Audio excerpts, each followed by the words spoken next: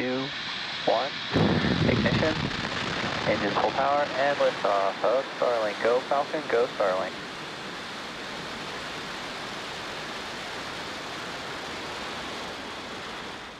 Vehicles pitching downrange. Telemetry.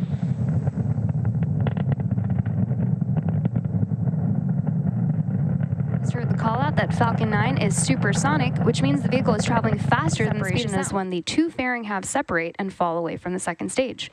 Keep an eye out for these events happening. confirmed. One landing burn has started in preparation for touchdown on our drone ship, a shortfall of, of gravitas. Keep, Stage one landing leg deploy.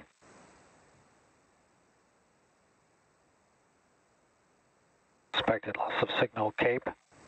Stage one landing confirmed.